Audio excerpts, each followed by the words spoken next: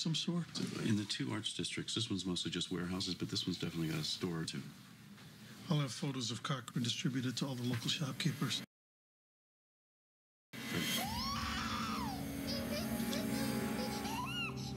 The baby, is she okay? The baby's fine. You need to give her back. It's a shame that you didn't care as much about our own child. Maybe Charlie'd still be alive. What happened to Charlie was an accident. He was lying at the bottom of a lake while you were busy painting. It all happened so fast. I was sketching. I looked up and he was gone. Why did you do it? Charlie's blanket.